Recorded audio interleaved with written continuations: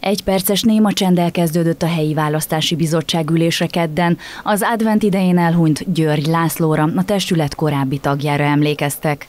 A bizottság két témát tűzött napirendre, az első a jelöltek nyilvántartásba vétele volt akik a mai napig 11 óráig leadták a megfelelő számú ajánlást, őróluk döntött a bizottság a nyilvántartásba vételről. Összesen 30 fő nyilvántartásba vételére került sor, ebből három polgármesterjelölt és 27 pedig a kép, az egyéni választókerületek képviselőjelöltjei.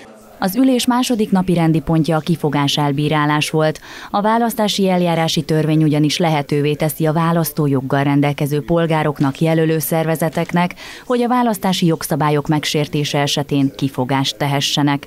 Ezeket a kifogásokat elsősorban a helyi választási bizottság bírálja el.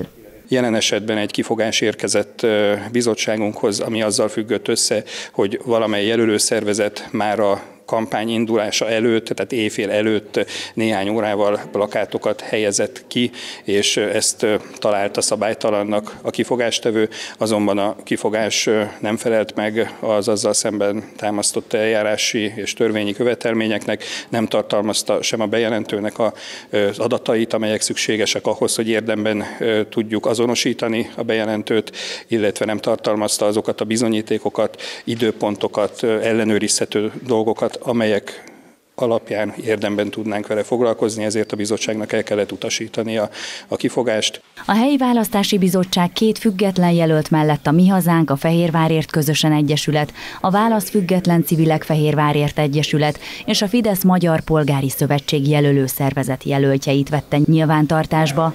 A határozatokat a testület kedden elfogadta, azok három nap múlva lépnek jogerőre.